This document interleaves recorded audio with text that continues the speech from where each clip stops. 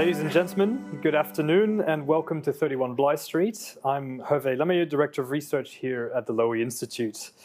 Before I go any further, I'd like to acknowledge the traditional custodians on the land on which the Institute stands, the Gadigal of the Eora Nation. I pay my respects to their elders, past and present.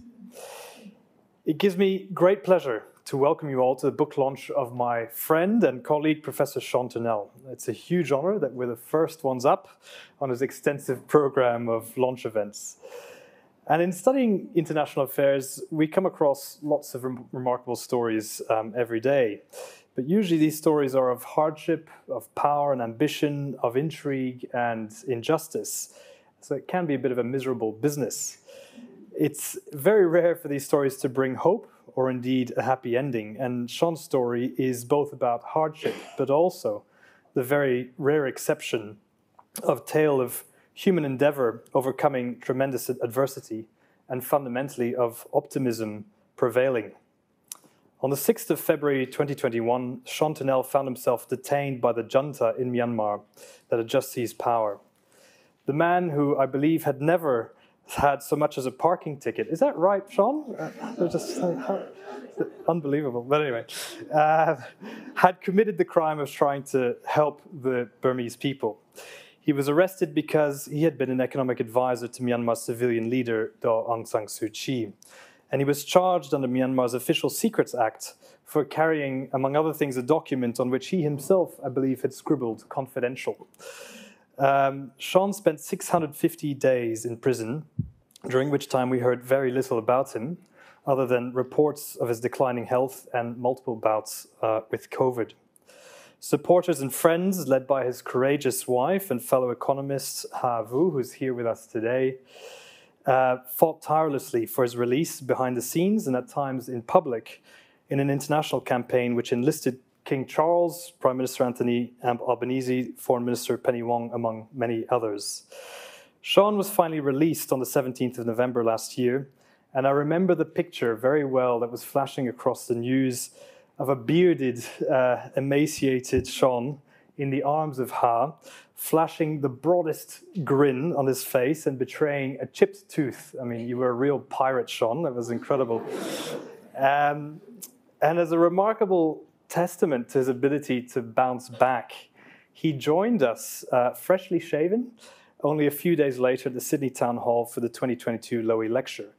The nerdy economics professor couldn't miss an opportunity to hear from the Director General of the WTO on deglobalization. Um, and I'm not ashamed to say this, but that night, sitting next to him at dinner, was the most surreal and, and happiest day of my career, Sean. It really was an incredible moment. We're honored that Sean has chosen since then to make the Lowy Institute his home as a senior fellow in our Southeast Asia program. And uh, he's able to share his expertise, his experience, his incredible good humor with the rest of us every day. And today, almost exactly a year ago, to the day since your release, Sean, it is my absolute pleasure and delight uh, to launch your memoir of your time in captivity, An Unlikely Prisoner, published through Penguin Press. So, ladies and gentlemen, can I welcome the remarkable Sean Turnell to the stage?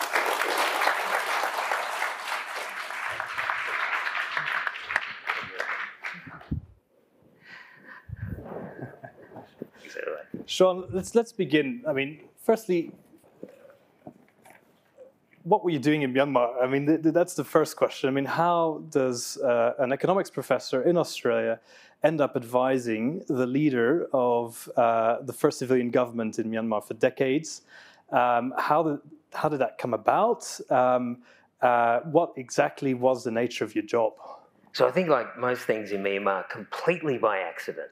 Um, so years and years ago, hundred years ago, when I was doing my PhD, I lived in a share house that included somebody from from Burma or from Myanmar, um, and the stories were fantastic. They were tragic, but they were heroic, and you know, I got totally captivated with the country. Um, and then gradually over time, um, because you know people knew I was an economist back at the Reserve Bank then, um, people asked me to write things about the economy, uh, in particular to critique the military, who were in control even back then. Um, so I started writing things, and my name sort of got passed around some of the democracy people. Um, my academic career just fell completely then under Myanmar work, and I wrote a book on the country's monetary and financial history. And um, somewhat bizarrely, people have heard me express this wonderment before. Uh, the BBC Burmese service serialized the book on the radio, um, which, yeah. Anyway, I, I've often this thought was, was Fiery Dragons. this right? is Yeah. Fiery Dragons, which, despite its name, I think was probably used by the regime to put people to sleep. But anyway, however it was, um, it was broadcast in Burma. Aung San Suu Kyi got to listen to it. Um, and from that, we sort of began to be in contact. She was then released from house arrest in 2010, which on what we hoped was going to be the last time. Um, and yeah, I met her in person. We established a real rapport. Um, and then finally, 2015, a series of economic reforms and political reforms along the way, elections held, NLD, National League for Democracy, and Daw Suu come into government. And on the day after the election, uh, she said to me, Sean, you know, you've been helping us all these years, you've been writing all this stuff. Why don't you come over and give us a hand at actually doing the things? So um, I got permission from Macquarie Uni, uh, support from Department of Foreign Affairs here in Australia, permission from my wife, and uh, went over to Myanmar and um, yeah, started working from there. Yeah, and tell us a little bit about the, uh, in some sense, the culture shock, not only of functioning uh, in a very different country to Australia, but actually the culture shock, more importantly, of transitioning from academia to policy practice, um, and also of, of making the kind of uh, everyday uh, trade-offs, I think, that are a necessary part of, of any job in power uh, between idealism and pragmatism. So I'm sure this will shock everyone in the in the world in, in the room. Sorry. Um, real world policy making is really different from what you write in an academic paper. Um, so so we had a blueprint of what to do. Um, which was sort of the standardised thing, but very much adapted to Myanmar's circumstances and history and all of that. But yeah, day to day, uh, you're constantly running into things. Um, Myanmar's bureaucracy had been built up over 70 years, just about, of military rule. It was sclerotic, it was top down, it was like a, it was designed for a command economy. So every day we struggle just to get anything through. And on a good day, you got something really small through. Um, on a bad day, you'd actually go backwards. But um, yeah, but a real struggle. And as Hervé said, lots and lots of compromises along the way. You know, you might have a, a policy you think, now this would really work. But yeah, just having to jettison bits here and there, uh, maybe because of politics, sometimes just circumstances. Hmm. And those were, I mean, incredible years from 2015 onwards. Um, but things started going a, a little bit awry. I mean, the pressure um, and and the um, the relationship breakdown between Aung San Suu Kyi and the military that was something that was, you know, had never really fully reconciled to begin with. But there was a sort of de facto working arrangement, which I think started to un, un, become undone at the seams uh, in the lead up to the uh, second election, the one in 2020. And at the same time, you were dealing with uh, uh, uh, an international community um, that had really started turning against uh, the Aung San Suu Kyi. So tell us a little bit about what that was like. Uh, I mean, I know you were working on economics, you weren't across all the briefs, but still you had a first-hand account um, of, of what it was like to be in that government. What was the mood like at the time? So the mood at the beginning was um, incredibly enthusiastic. Um, in fact, I know there's many people in this room who were there. there. There was just a feeling in Myanmar that you could do anything. We were starting something new. We really were going to get the last and best of the tigers. Um, yeah, things started to go wrong. Um, I mean, th- there was the compromises that we mentioned earlier, just the struggle to get things through. Um, but then halfway through, I'm sure people will remember the story, the terrible story, right, where Myanmar's military just started massacring people in Rakhine State, the, the Rohingya. Um, now, the interesting thing about that was that we knew that they would try something because, as Hervé said, the, the relationship between the civilian government and the military was always an uneasy one and a sort of unacknowledged one. It wasn't like there was any formal deal or anything like that. Communication between the two was near non existent. Um, and even at the best of times, communication was often through the media, through proxies, things like that. So, yeah, a very uneasy relationship. then we get the atrocities, the near genocide against the Rohingya, um, and we had expected the military to try and do something to devalue the National League for Democracy, to bring Daw Suu down. Um, so then we had to try and deal with that. Um, at this point, too, I think everyone, you know, um, the biggest supporters of the government would acknowledge a lot of mistakes were made, particularly in communication, because behind the scenes there was a huge amount going on to try on on the civilian government side to try and lessen the, the atrocities going on and trying to pull the military back. Um, but they had to be very, very careful because throughout the whole time I was there, there was always a feeling that the military were a hair trigger away of coming in. Um, in fact, I remember it quite distinctly because I was living in the, this bizarre capital city in the middle of the country through most of that, and you wouldn't have a day go by almost without sort of rumour of a coup. And, and you know, the, it might be just a, a few trucks army trucks or something parked at a, at a shopping centre or something, and rumours would develop from that. So, yeah, so there was always this incredible unease, um, this feeling that the military could come in at any time. Um, so people like Suu Kyi had to sort of juggle all of this. Um, and, and again, communication's terrible. How to send the signal to the military using proxies, sometimes publicly, sometimes in other ways. Um, trying to lessen that. We've got the international community, quite rightly, completely outraged about what's going on for the Rohingya, and then trying to deal with that all at once, you know, and trying not to trigger the military. Um, so it was really difficult. Um, lots of things being done yeah, in the background, including by myself. And as Hervé mentioned, the um, one particular document that the regime used against me in the trial was uh, set out a program through which we could use our inside information of the financial system to target some of the military figures who were causing the atrocities in Rakhine. Um, and yeah, that when, when I saw that, uh, my interrogators presented that to me, I was really worried because I thought, wow, this is this is the smoking gun. Um, thankfully, I don't think they ever read it, which is, but it, but it did have confidential on it, and and the confidential stamp was put on by me. Um, but again, you might have heard me say this.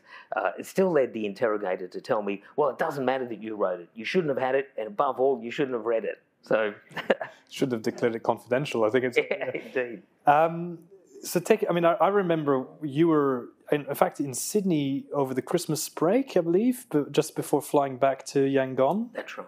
We were we were actually meant to meet up, and then you, you left. I remember yeah. we exchanged an, an, email, but yeah. so you went back into uh, what was a very um, tense and dynamic situation. Um, but the the sort of orthodoxy at the time was that the military wouldn't consider a coup because in many ways, the whole game was stacked in their favor to begin with. I mean, the 2008 constitution created a diarchic system in which the military retained its power over the ministries of defense, uh, home affairs, uh, policing, uh, what was it, border areas. Yeah. Um, and uh, and why would they squander a system that they had so carefully set up um, through years of you know constitutional conventions in ways you know or by people that really favored their interests? Um, and yet they did so. Uh, they did so. And, and was there any sign in the lead up and the immediate days before the coup that, that things were going to go very awry? Um, what, what sort of what was the first inkling that something was going to happen? So there, there were signs, but um, as I mentioned earlier, there were always signs and so trying to filter out whether this was anything different than the past was a was a you know problematic thing. Um, and also around that time, one of the weirdest things is that Myanmar's election cycle almost exactly tracked America's. So uh, election in November. Um, in America, what is January 20, isn't it, where the That's president right. comes in? But yeah. in Myanmar, it was about March. But there was this election in November, this long gap in between. And again, sort of tracking Donald Trump a little bit, um, the military were using the same sort of arguments that the, the election was rigged. It was, you know, even though in this case it wasn't even close, right? So the, it was about 80% of the vote went to uh, Suu Kyi's party. Um, but yeah, the, the, the, military were complaining a lot. So, so there, there was this drumbeat of uh, vitriol from the military. Um, but exactly as you've described, Hervé, it didn't make sense that they would have a coup um, because they, they were in the box seat in many ways. Um, although I'll come to as to why they might have might not have been in a moment, but um, but they thought they'd rigged the system really well. Um, yeah, complete control of home affairs, complete control of the military, including over the budget. as the, the civilian government couldn't even question the budget, wasn't allowed to be discussed in Parliament, for instance. So, so they, they were sitting pretty. They had lots of crony enterprises all around them that were well placed and all that. So it didn't seem to make sense. The only thing is, I, think a couple of things came in.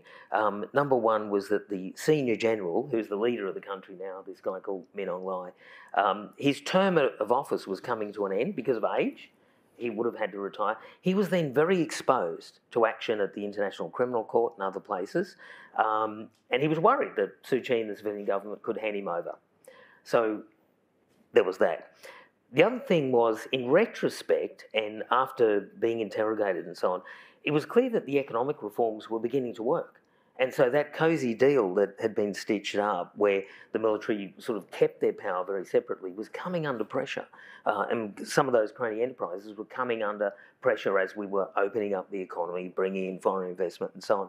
So uh, I think that's partly as well that, that they began to feel that things were moving against them. So, uh, having said all of that, it still makes no sense. It's absolutely irrational. And if we look at the situation now, the biggest losers, well, apart from the Myanmar people, they're, they're the biggest losers, of course, um, but significant people around the military regime, crony enterprise, and all that have lost hundreds of millions of dollars. So it, it's, it's a failed enterprise, yeah. but yet they did it. They did it. Um, Tell us a little bit now about the circumstances of your arrest. So I, I believe you were in uh, a hotel room, the Chatrium, is that right? Yep. Yeah. And uh, um, uh, I mean, Ha, I'm sure would have already been, you know, on tenterhooks and somewhat nervous. Um, there was news that a coup had happened. Yep.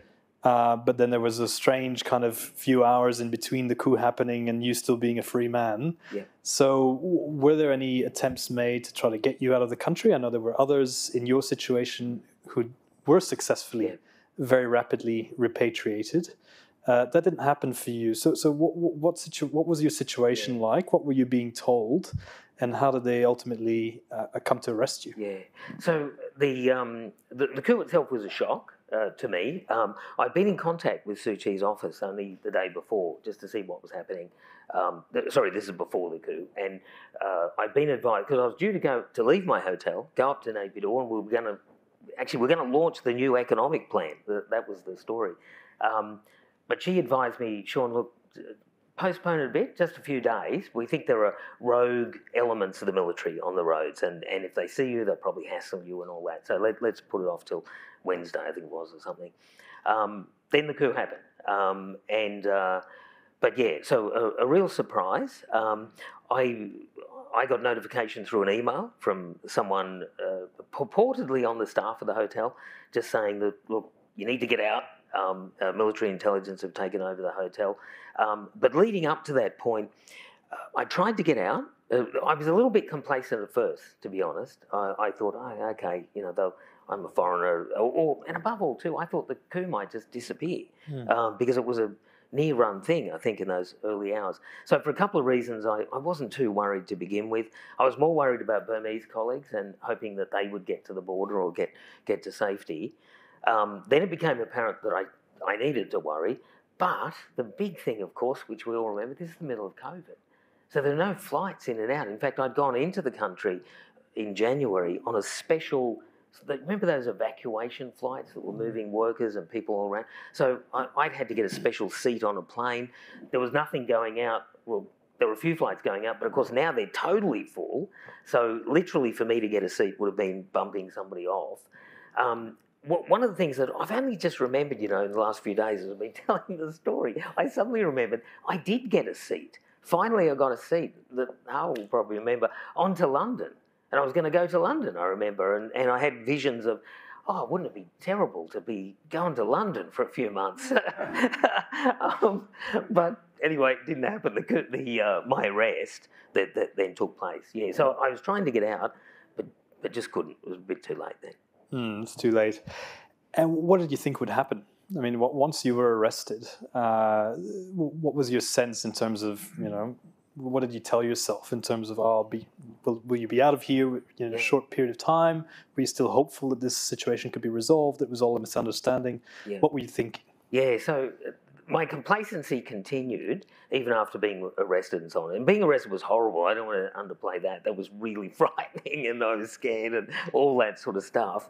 Um, but I but I thought it would end um, again for that same complacency about rational actors and what they might do, and in the sense that I thought, well, okay, the there's going to be huge international fuss about this. The world will be against them. Why would they keep me? It didn't make any sense. It's just going to be another area through which the rest of the world can attack them and agitate and all that.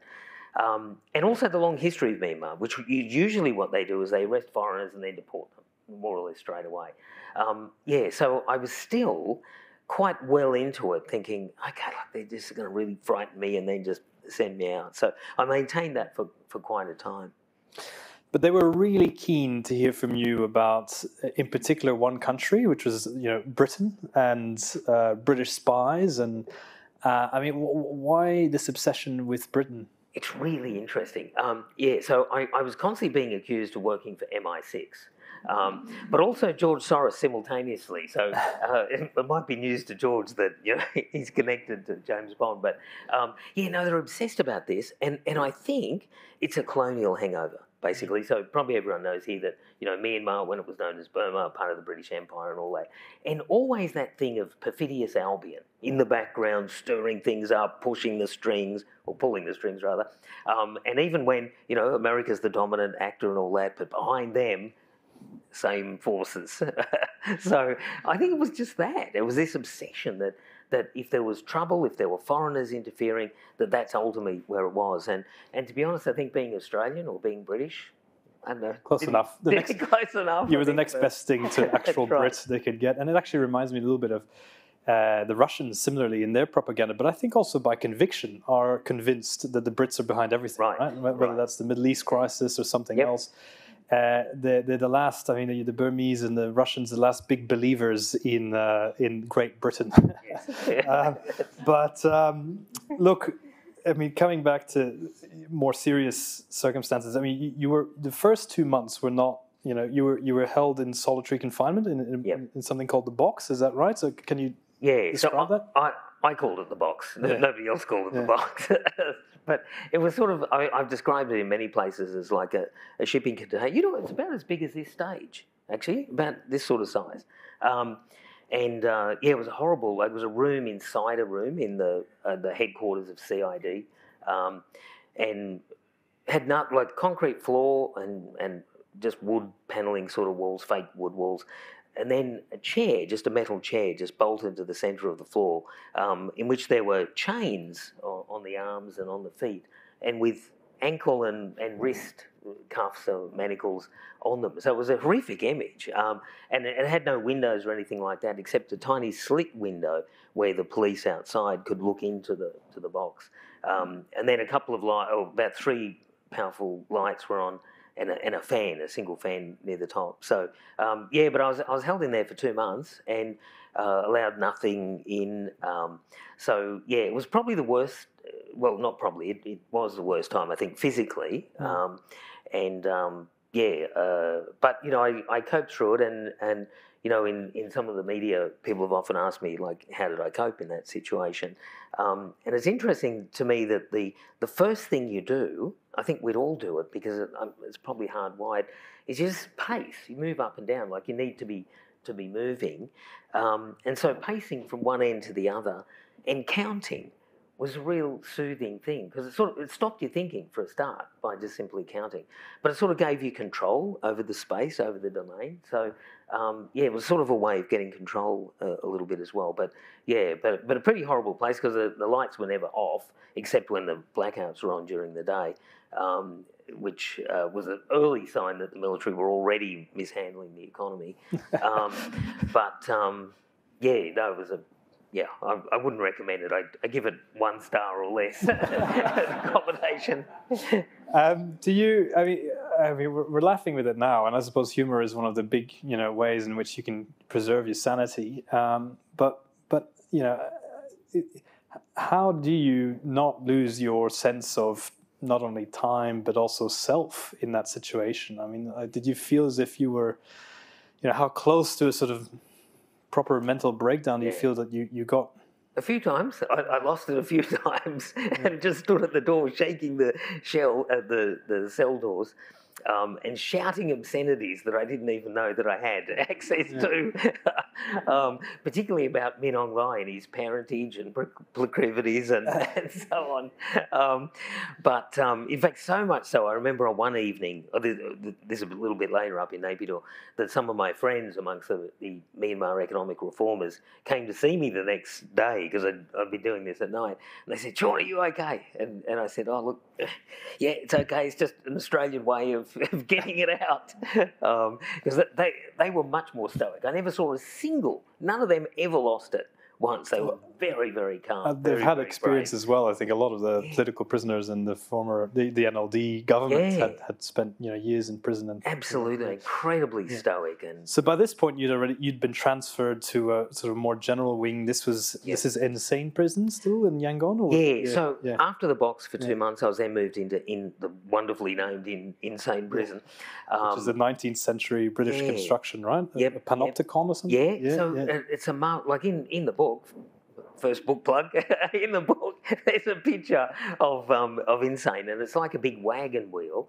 Um, and um, yeah, divided up into little sort of pizza slices with the different wards of the prison. But and in the middle, so it all comes from Jeremy Bentham, the famous uh, philosopher and social reformer, the uh, idea of the panopticon of, of, prison reform, actually, 19th century England. But um, from the centre, there's a giant tower which is meant to economise on staffing because then the warders can just look from the tower and see all parts of the prison. But um, yeah, but it, but it was well built, really run down, but still in some ways in a more functioning condition than later prisons I was in that have been built, you know, a century later.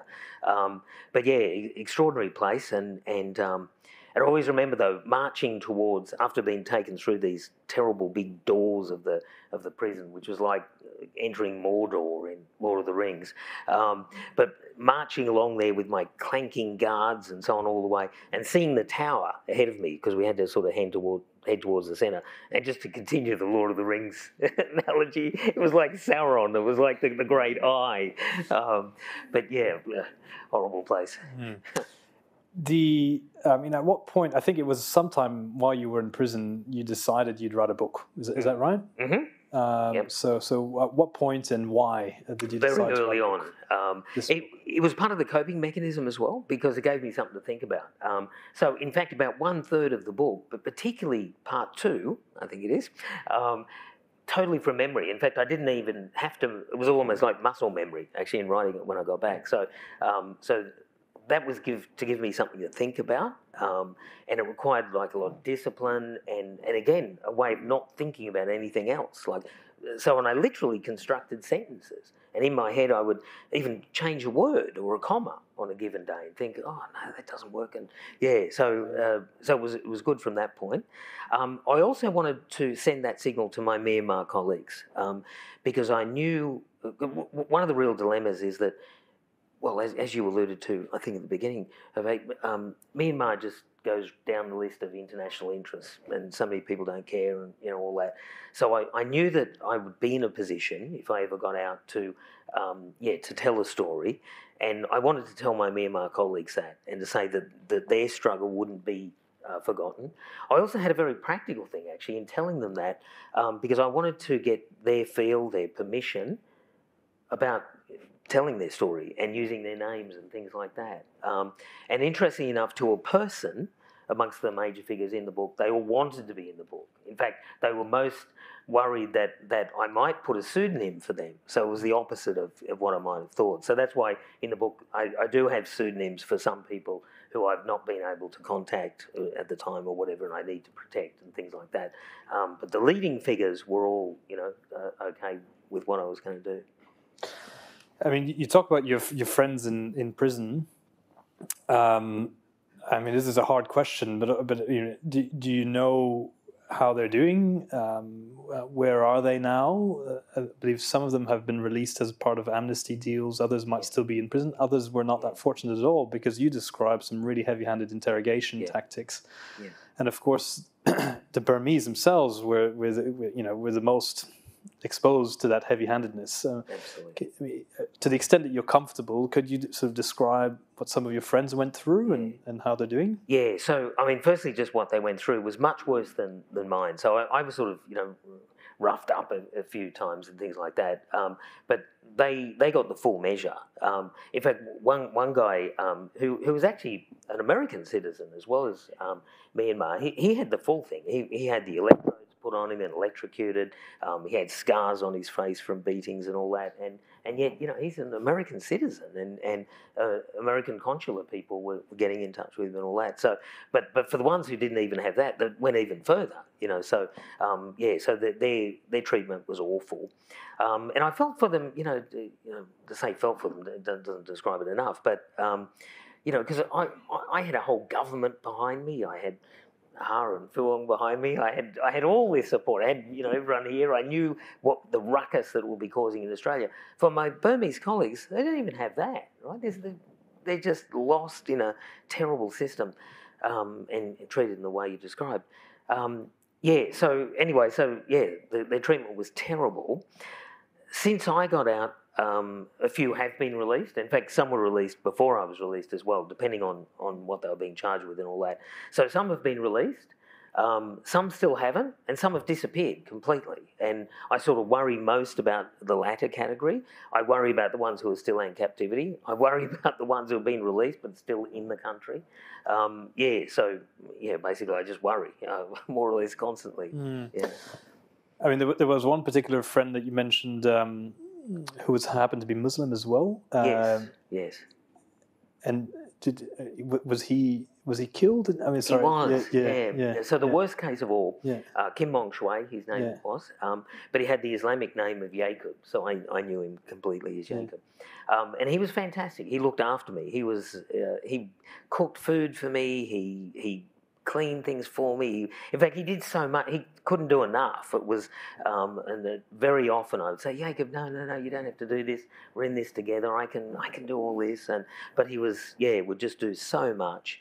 Um, and also he, but he was a very strong character, um, and uh, so strong actually that the prison guards were frightened of him. Um, and, and, he had the appearance. He had the beard and everything, and, and yeah, they were generally frightened of him. Um, so they were out to get him basically, and so uh, he was okay uh, up to the point that, that I'd left Insein uh, in Yangon, transferred up to Naypyidaw, um, and then I was a year up in Naypyidaw.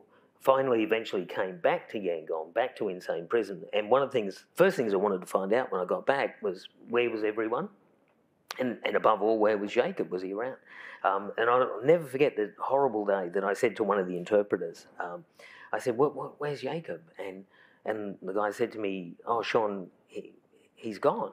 Uh, and, and I thought he meant, "Oh, he's been released. This, this is great." And he said, "No, no, no, Sean, you misunderstand. He's dead." And I said, "How?" And yeah, it turns out that um, a fake fight was sort of staged. He'd gone in there just outside his cell, in his cell. The details were uh, a little bit unclear, but um, and he'd intervened, and, and that's very him because he was always like safeguarded me, but he tried to be safeguard everyone, basically.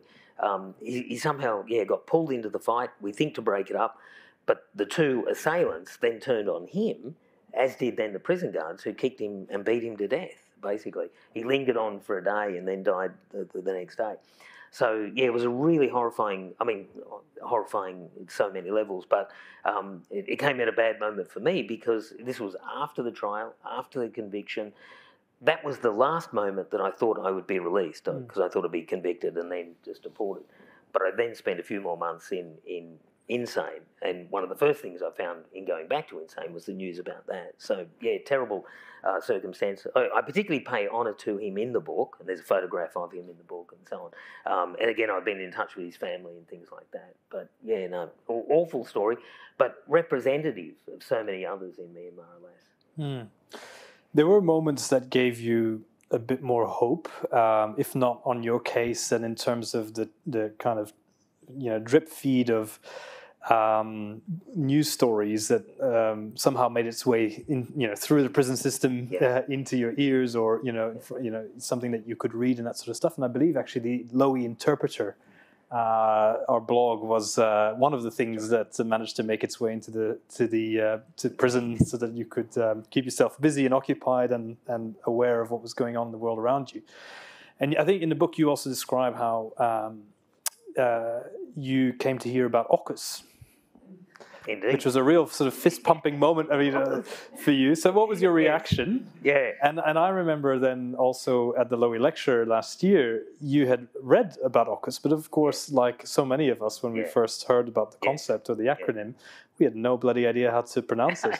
And you didn't, and you did, you actually had to ask me, well, Yeah. what is it? How do Yeah, you yeah. pronounce it? I've read this term. That's but anyway, right. tell me what, what you felt about. Yeah. I mean, what, what was it about Yeah. AUKUS that that made you feel so pumped?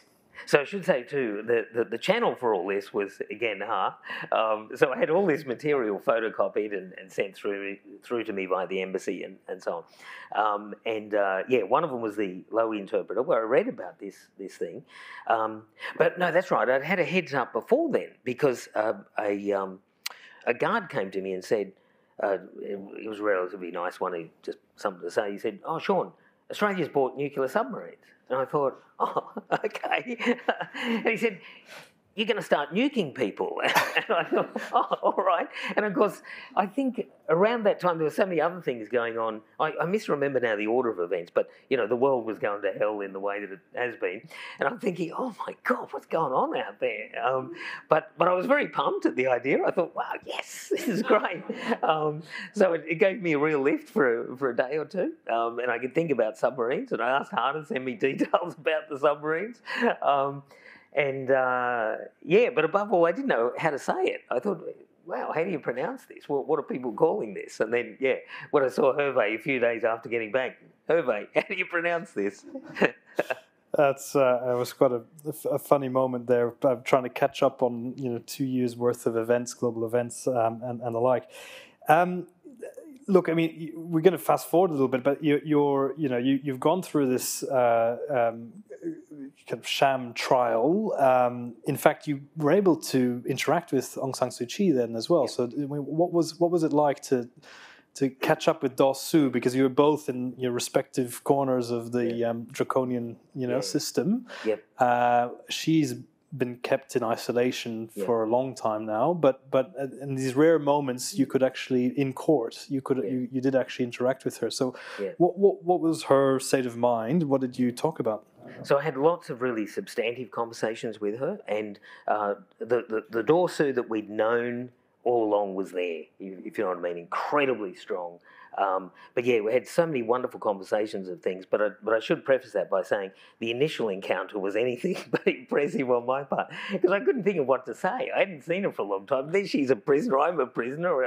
I'd last seen her as leader of the country. She gets ushered into a room. I sort of approach her, and all I could think of was saying. I think the force is still with us. Which it, sounds, it sounds so pathetic now, even to recount it. Um, in in my defence, which I've got in the book, um, we were both sort of Star Wars fans, so it sort of came naturally. There was a context, but still, um, Did she get it? she did, yes, and she agreed and said, yes, it is short. Um, but um, yeah, we had many conversations, um, mostly not about the trial, because the trial was just such nonsense. There wasn't really anything to say. Um, but uh, she was incredibly supportive of the rest of us and, and someone like me. As you mentioned, Hervé, which is absolutely true. I never even got a parking ticket. Um, and um, uh, so she wanted to con- to reassure someone like myself, but the others as well, was that even though there were all these accoutrements of a penal justice system, blah blah blah, that this was this was all a sham, and that we had to make sure that we we knew that and deeply understood it, and not to get caught up. Um, because you know, if you're in an environment with prosecutors and police and judges and all the rest of it, it's all too easy to slip into the feeling that you, gee, maybe I did do something wrong. Um, but yeah, so she was very, very anxious to say, no, look, this is politics, it's a sham. Um, yeah, which is again quite helpful for someone like me. Do you think that she regrets uh, any of the decisions that she took in the lead up to the coup? I mean, or or you know, was it a foregone, inevitable conclusion that there would be a coup, or that Min Aung Hlaing is largely irrational? And um, did you get the sense that she felt that things could have been done differently? I don't think so. Um, it's a good question. Eh? Um, in, in some ways, the, the conversations between us, there were some topics we couldn't really get close to because we were always in a room. There there was one room in this sort of sham, shambolic sort of courthouse that there weren't cameras, but we always suspected that there were bugs of something. So, so we had to be quite careful of what, what we spoke about. We, we did touch upon it a little. Um, uh, funnily enough, and, and it'd be interesting because I, I don't know when the history of this can ever be written because all the players are in prison or, you know, uh, on the other side. Because there, there, were some very fraught negotiations, they broke down and all that. There, there were different, in, in my conversations with other people as well, some of the ministers in the prison, I used to hear different stories about what, what was happening in those last few days and all that. Um, so uh, I'm sure there are, there are um, aspects to that that that could have gone differently, things like that. But I, I never heard her give an opinion on those, um, even though I- obviously she knew uh, probably more than anyone else. But mm. yeah, so I think the history on that, yeah, still awaits. I think. It awaits, and it's potentially your next book project because the other two thirds, you said you one third of this book you thought Yeah. of while you were in prison, and the other, you know, the two thirds of the rest of the material is making its way into a policy memoir. Uh, which may or may not be your next project at the Lowy Institute. So uh, we're, we're looking forward to that one. But you do, you know, are, are, you are in that unique position of, of having had a, a ringside seat in, in, in those key years between 2015 and 2020. But but let's return. So, what, what point did you feel that things were potentially changing for you? That you know your fortune was was shifting, and and that you, there might be a release uh, coming.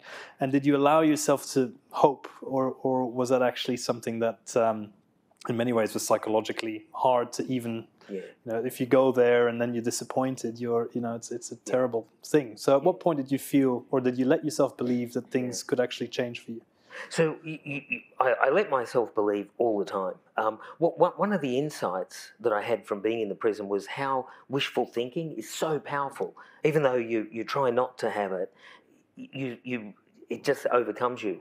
Um, and I, again, I think I've got this in the book where there was a rumor went round the, the prison very early on that the US Seventh Fleet were off Yangon, uh, two aircraft carriers, and the US Marines would be the, there in the end of the week. Now it was so absurd, right? This is ridiculous.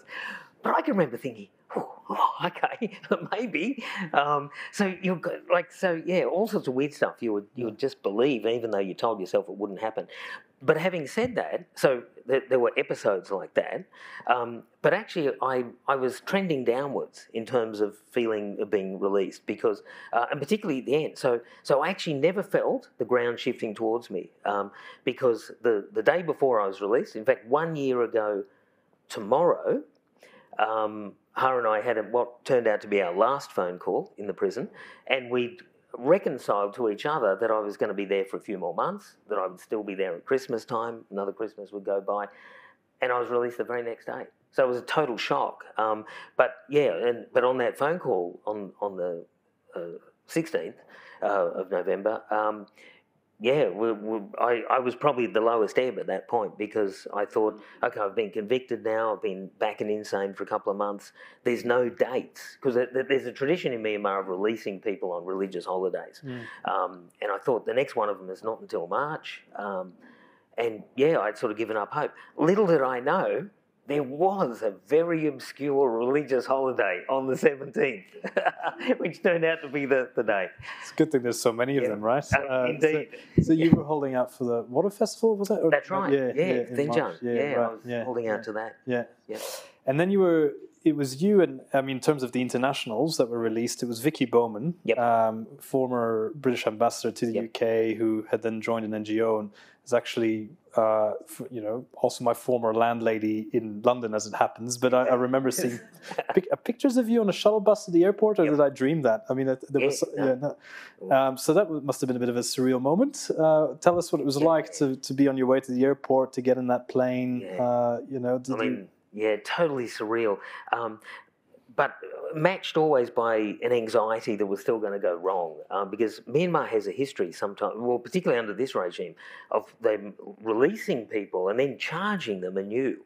And so it wasn't until I got on the plane. In fact, actually, it wasn't until the plane landed in Bangkok that I really felt safe. But, um, but, but having said that, I mean, yeah, the, the, the trip in the minibus with with Vicky and others was yeah a wonderful moment, and, and we were all talking about what we do when we got home, and you know all, all that sort of stuff, um, and. Uh, and then arrived at the airport, and you know all the diplomats are there, and, and it was just surreal. And and I'm, as you identify, I've got this straggly beard, I've got this dirty old shirt that because I'd been exercising in the morning when they told me to be released, and I didn't have, I couldn't shower or anything. I was smelly and looked terrible, um, and uh, and I'm, we're sort of hobnobbing with diplomats and champagnes coming out. it was just very odd, um, and. Uh, yeah, so, but yeah, all surreal, but, but very nice. Incredible, incredible. Um, look, I mean, I think now is probably an opportune time to um, open it up to uh, audience questions. I'm sure there are plenty of them. We've got about 15 uh, minutes left. I have plenty more questions, Sean, I could ask you, but uh, now seems a good good time to to ask uh, anyone to raise their hands um, and uh, identify themselves and uh, and ask Sean a question. Any interest? uh, lady there in the middle. Yeah. Thank you, Johanna Pittman, uh, CEO of Advance Global Australians. So, um, really, just very interested in your pr- perspective on the economic um, future for Myanmar and what you're seeing now at this juncture. Um, what hopes you hold for it? So I think un, under the current regime, I have almost no hope um, because um, what what they've set out to do is to dismantle all of the reforms, um, which, in their own mind has a certain logic to it, because again, those reforms were moving in directions that was, you know, essentially against their rule. Because I mean, the whole economic problem of Myanmar, the original sin, was that there was this military just sort of sucking up all the resources. So we, we were trying to open things up, reduce their influence on the economy, and all of that. So you know, it's with great sort of alacrity that they've moved to dismantle all of that. Um, but of course, they've turned the whole country into a disaster. I mean, it's, it's just war from one end of the country to the other. GDP fell 25% in that first year. It's still, well, it's way below where it was in 2019. Um, you know, 40% of the population are now in poverty in every measure you can think of inflation, unemployment, what, uh, I mean, everything. It, it's just all this absolute catastrophe. Um, and of course, it's going to require a great amount of effort and trust and all that to turn it around because, you know, unless the military is taken completely out now, it, it's, it's hard to imagine any sort of compromise, right? Because it, if, if they're sitting there, um, you know, where do the reforms go? So, yeah, I'm deeply pessimistic at that level. Although, having said that, and Hervé and I were talking about this earlier, I mean, the news lately out of Myanmar over the last week, last few days, has been hopeful. Um, the, the regime, which has been on the back foot, you know, in, in so many areas, now seem to be on the back foot on the battlefield. And so um, it's just interesting. You're getting lots of stories. I don't want to get ahead of myself because we've spent 30 years looking for this sort of thing. But it is possible now to see mass defections of troops, instability at the top, and a whole range of other things that suggest that maybe this regime is not going to be around for too much longer. So that's that, that's the optimism at the moment. Mm. Uh, just just hold on for the mic as we're recording this as well. So. Thanks. Hi, my name's uh, Chris Hughes. I've uh, also spent a bit of time uh, in Myanmar and uh, known Sean for a little while, but on, on a similar theme, actually, uh, looking forward. Um, it's painful sometimes to look back, even though you do it with such great humour. Um, I mean, it's a thorny question, I think, right now about whether and if if we do, how we engage with Myanmar at a government level, but also even at a civil society and and, and economic level. But you know, we've Australia's put out its um, uh, long-term strategy for Southeast Asian engagement, and, and Myanmar is just excluded completely from that as, as part of the methodology of that of that sort of study. Um, I think that's a bit a bit sort of strange. But from a um, uh, I guess from from your perspective, I mean, what counsel would you give now about uh, any level of engagement with Myanmar at a more t- thinking more at an economic level uh, at the present, you know, in the, in the near term, but also taking a longer term view. What, what sort of advice would you give on that? Yeah, so I think the most productive thing Australia can do on that front is to engage in non-government actors. Um, so, so there is still, you know, um, Myanmar civil society, um, some of the private business, and all of that. They're, they're, I mean, the core of that is still there, you know, and, and is is the future. So I think the the um, the institutional frame that's under the control of, of the regime at the moment is sort of irredeemable in, in my view, and, and and I think any sort of support for that, even um, even sort of indirectly through UN agencies and so on, I, th- I think is probably misguided. Um, but but support for other actors who not only are important to support at the moment, but I think important for the future. Um, there, there's still something be, to be done there. You know, the, the, these are the actors who will reconstruct the economy. Um, the the uh, national unity government from outside, um, most of whom I didn't know before you know being released, um, have been enormously impressive, particularly on the economic side. Um, the the degree to which factionalism and things like that has been really minimised, it seems to me. Um, uh, so yeah, so I, th- I, think there's things that can can be done, but essentially it's about supporting, I guess, non-government, non non-regime actors. Yeah. yeah. question uh, at the front there. Hello, Professor Turnell. Thank you so much. Um, I learned a lot. Uh, let me reintroduce myself. I'm um, the mother of Kim Edwards, who's the program leader and senior economist for the World Bank. Uh, and his uh, territory is Myanmar, Laos, and Cambodia. Yeah. So he goes there quite regularly. My question is uh, first of all, do you have a gag order? Can you say anything you want to say outside of Myanmar? And secondly, most important, is, is he safe? Oh. Um, well, um, I mean, the, the good thing about working for the World Bank is that there are parameters through which of, of what you can say, uh, and you have, you know, di- quasi diplomatic protection and all that. And I'm sure he'd be very careful. And, and, and in fact, I, I broadly know of him, and, and he's very careful, very professional, and all that. So I'm sure he'd be safe. Um, the um, uh, for me, um, there, there's nothing to, to, stop me saying anything. Uh, living here in Australia, and, and, in fact, I have said lots of things. you, have been reprimanded though by uh, Naypyidaw, well, haven't they? They indeed. tried to rearrest you, didn't they? Indeed. From... So, so the regime gets very upset. so, in, in, fact, Min Aung Hlaing personally, I think, is most affronted um, that I had the temerity to suggest, you know, that being over that in prison wasn't such a good thing. Um, and uh, yeah, so so I, I, have to bear that in mind. Uh, but but other than that, you know, I, there's there's nothing stopping me from saying things he, here. The only thing is, I, I do have to be careful about what I say with respect to other people. So I've got to bear that in mind all the time that my actions could endanger other people. So, uh, but you know, I've been careful about that. Um, so yeah, but other than that, it's you know. And even to the point that when you know someone writes to you on Facebook purporting to be someone you know mm. in Myanmar, you, you really have to mm. think twice about whether this is a potential yeah. trap yeah. that may end up incriminating you know the yeah. person that you actually that you think you're communicating with. I mean, that's right. The, the, this whole area has been the most emotionally fraught because one one of the things I really desperately want to do is contact all these old friends. Just even just when, when I say contact, just hit like on a Facebook post and things like that. And I can't do it um, because I just, you know, I can't endanger them in that way. So, um, yeah, so that, that that's immensely frustrating because, and again, because of communication issues and all that, I, I don't want them to think that, you know, I've just abandoned them. I've got back to Australia, everything's great, and, you know, having a wonderful time and, and all that. So, but I can't. So yeah, it's very frustrating that.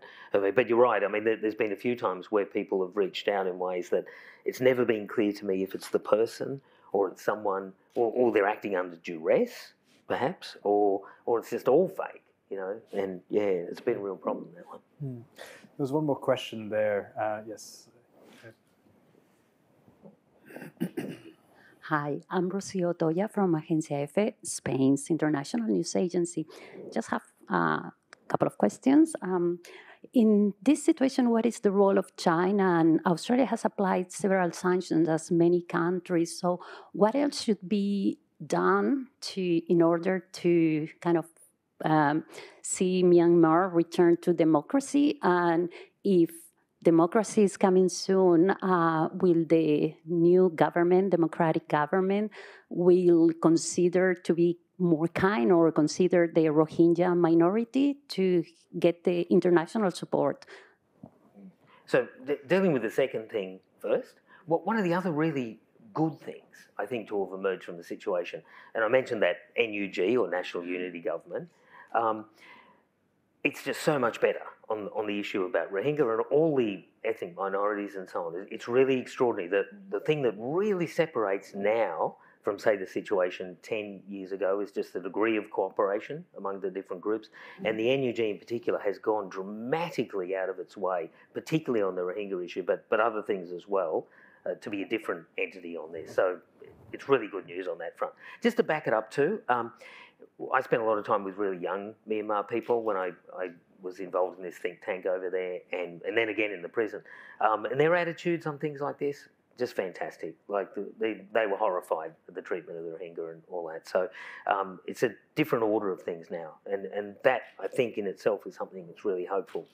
Um, on the the first thing, um, oh yeah, about China and so on. So China, I think, is in a strange situation at the moment. Um, they're, they're really the most important player. The, the regime would end tomorrow if China withdrew their support. Um, so, although they're, they're sort of, uh, the regime in Myanmar are, are, emotionally closer to Russia these days mm. because the Russia, Russia doesn't criticise them or do anything except support them. But the Russian support to the Myanmar military is limited. In fact, the flow of weapons is sometimes the reverse. It's hard to know what's going on between those two. But yeah, apart from that love in, the, the real only support of material effect is China. Um, but China is I can only imagine China's incredibly confused and doesn't know what to do because it, it didn't it doesn't like the idea of a vibrant democracy on its border, doesn't want that, but at the same time it wants a relatively peaceful Myanmar because they've got all sorts of huge investments. They want this big port on the Bay of Bengal. They're strategically, they want to be close and all of that. But they, yeah, they need the country to be stable for their economic investments to work out. Um, and so they were sort of tending towards the NLD on, on that score, but then the military come in, and politically that's sort of more amenable in a sense. But then the regime was so irrational that that you know the report you get from China is that they're looking at, hang on, you don't need to do that. You, know, you, you can be an authoritarian regime and, and do it smarter. I think is you know part of their their response. Um, but then there's all sorts of other irritants that have come along the way. People here have probably heard about these weird cyber scam cities that have developed inside Myanmar and other countries in Southeast Asia. Uh, the Chinese were were really pressuring the Myanmar regime to close them down, and the regime was not, didn't. And so, in fact, part of the reason for my little bit of optimism I mentioned earlier about military developments is that China basically sent a signal to groups that they were supporting to you know, push back and close these scam cities and all that. So, um, yeah, so China is sort of all over the place, I think, at the moment, and probably doesn't know how long to back the regime longer for. Obviously, there's a bigger strategic play going on there as well, but, but yeah, I can only imagine that Beijing or or um, uh, Kunming, um, Yunnan province, which is the real player when it comes to China, are, are probably confused at the moment and not, not quite knowing what to do. Hmm. Oh yeah, well, so on the sanctions, um, so the, the really effective sanctions that are in place at the moment are being levied above all by the United States, uh, financially sanctioning some of the banks uh, and some sanctions on jet fuel. Um, this is really highly targeted stuff um, because most Myanmar people, 90% of people in Myanmar don't have a bank account or anything like that. A bank sanction is not, not going to affect them. Likewise, they don't fly in aeroplanes. In fact, the biggest user of jet fuel in Myanmar now is the military, right? so the Air Force. So it seems to me that these sort of sanctions are highly targeted uh, and quite effective. And, and I think we're, seeing that they're effective. If we look at what the regime's doing to try and ration foreign exchange, get foreign exchange, look at their actions, not not just what they say, this seems to be really effective. So I guess for, for me, what I'd like Australia to do is join in that because uh, the, the Americans are doing it, the Brits are doing it, the European Union's doing it, even Singapore is actually tightening the screws financially. And so I'd, I'd love for Australia to join in that. Uh, the practical effect, probably not that great. I can't imagine there's that much money here, although you do get stories every now and then. But, um, but just to join that, as sort of with our traditional allies, it seems to me wouldn't cost us very much. Um, and yeah, might might be a good place to start, I think. Mm. Sean, as you say, there's you know, it, it's hard to be optimistic. Somehow you find a way to do that. I mean, it seems to me there's a a war of attrition, really, isn't it? And and there's a question of is time on the side of uh, the junta or is it on the side of uh, democratic forces? And to complicate everything else, you've got the ethnic armed groups uh, uh who, who, are quite separate and with individual agendas to the uh, NUG, um, the National Union Government, so the, the shadow or opposition uh, government. You know, it's it's complicated, and even if the military were to collapse overnight, there's a question about a vacuum and who fills it, and it's not obvious. You know, it's not obvious who would fill it. Do you think Daw Suu still has a future if if something if we were to talk about you know a, a post uh, Tatmadaw Myanmar? I mean, is there still a place for her within within that? And could she fill the vacuum still today, or has her authority been lost in all this? No, I, I think she could. Um, and the reason why I think that is because I think the people of Myanmar would insist on it. Um, so I don't think it would even be her choice. I think that she would have no choice in it. I, I really think the people would demand that. Uh, again, but it's got to happen soon. Um, one of the tragic situations of all of this, if we look at the regime tactics with respect to Daw Suu, they're waiting for her to die. I mean, to put it bluntly. Um, so she's 77 now. She has a number of health ailments and all that. They keep her in appalling conditions. Um, and yeah, they're, they're, they're, trying to wait it out. Um, but within the country, especially, so even though, you know, outside it's a little bit different now, within Myanmar, she's revered just as she always was and remains the key player. Um, I, I would imagine that she probably wouldn't see herself occupying a lengthy period or anything. But but if things were dr- dramatically change in a good way, I could absolutely see her coming back. Not unlike say Nelson Mandela, a short-term sort of thing, uh, unifying figure, which I think I, again in the country, I, I, think she still is. Um, and probably handing it over, you know, to a, a, younger cohort. Well, one of the really great conversations I had with her was just about that, actually. And in fact, it was a message that she asked me to pass on to people, which was just how proud she was of the younger people and how they were responding to the military coup, and that even though their experience of democracy was so brief, that that they were so willing to defend it. Um, but yeah, I spoke at length with her about um, yeah, about the young economic reformers and all that. And yeah, she had immense faith in them. So yeah, I, I, I could definitely envisage something like that in the short term. Um, that, but but I do think again, time permitting, that that she would still play a role, particularly at that beginning period. Sean, uh, thank you for somehow yeah finding optimism in in the darkest uh, moments of your life and the darkest chapters in an entire country's history. Uh, it's quite a remarkable achievement. It's a, a, brilliant thing to see you here on the stage uh, with us today. Um, and and the book, you know, is probably the best way you could have uh, processed your experience. And as you say, I think you're rendering a great service to all your friends um, in prison, still languishing, uh, by by um, airing their message and and and by uh, keeping the flame alive, so to speak. So thank you uh, for your time today. Congratulations on the book, and please join me in in uh, thanking Sean.